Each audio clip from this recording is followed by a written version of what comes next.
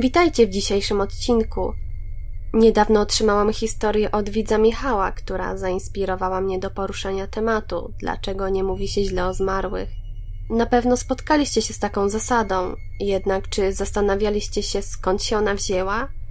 Dziś spróbujemy sobie to wyjaśnić, choć najpierw opowiem wam historię Michała. Zaczynajmy.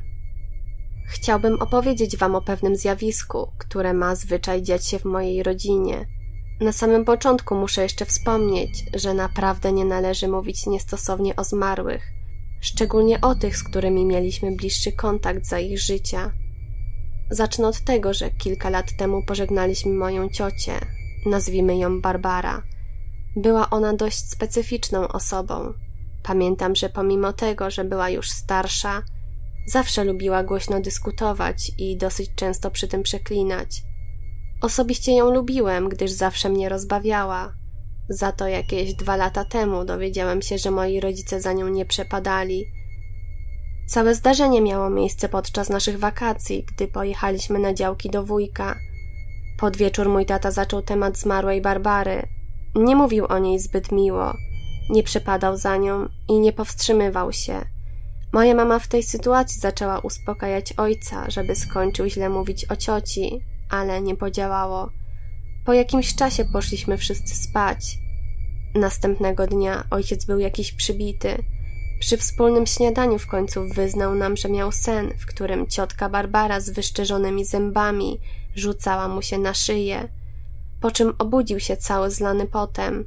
Mama podsumowała to słowami. Wiedziałam. Ja kiedyś z mamą miałam to samo. I rzeczywiście przypomniało mi się, że kiedyś z babcią o niej rozmawiały w niezbyt sympatyczny sposób. Ojciec na koniec dodał, a niech smaży się w piekle. Od tamtego czasu temat ciotki Barbary nie jest w ogóle poruszany, a gdy chciałem o niej porozmawiać, to rodzice zmieniali temat. Osobiście wierzę im na słowo i nie chcę odczuć zemsty z zagrobu na własnej skórze. Jak widzicie, zasada, wedle której nie należy mówić źle o zmarłych, może wywodzić się właśnie z takich sytuacji.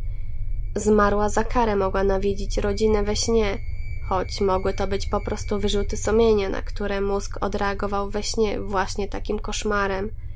Co ciekawe, zasada o mówieniu źle o zmarłych wywodzi się z Rzymu i brzmi De mortus aut bene nihil co po łacińsku oznacza o zmarłych mówić dobrze albo wcale.